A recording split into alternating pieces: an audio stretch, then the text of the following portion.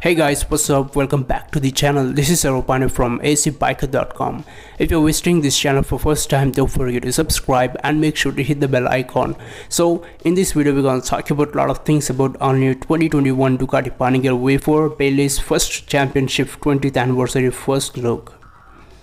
It was 20 years ago, some famous rock band sang many years ago. Ducati recognized the importance of anniversary and is not going to let this one slip by unnoted.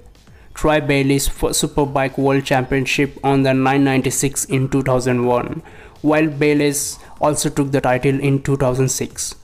The special edition motorcycle with a particularly unwieldy name is all about the first time the 2021 Ducati Panigale V4 Bayliss first competition 20th anniversary.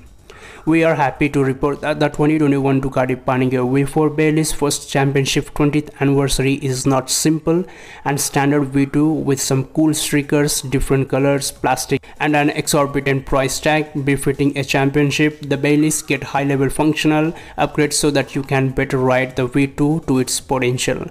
The most significant upgrades to the V2 in the Öhlins units you get an extra defox, TTX36 shocks and steering damper all highly adjustable and top shelves. Ducati shaves 6.6 pound from the V2 from the Bayliss model with most of the weight uh, savings come from lithium ion battery and solo seats. Don't worry a passenger seat and foot pegs come with the bike. Other technical goodies includes the titanium and carbon uh, fiber muffler covering also with self-cleaning brakes and clutch pump sportings and a smoke gray oil tank looks do matter. Of course and the 996 odd livery is the recall in 2001 Ducati Panigale V4 Bayliss first championship 20th anniversary.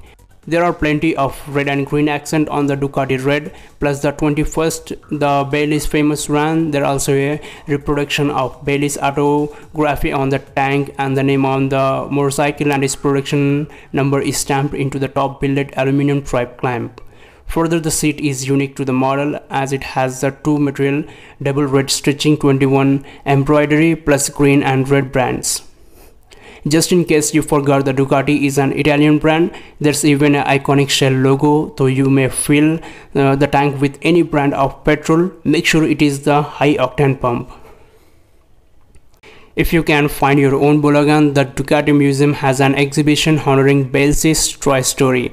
The legend of the champion don't dwell as it closes on September 19.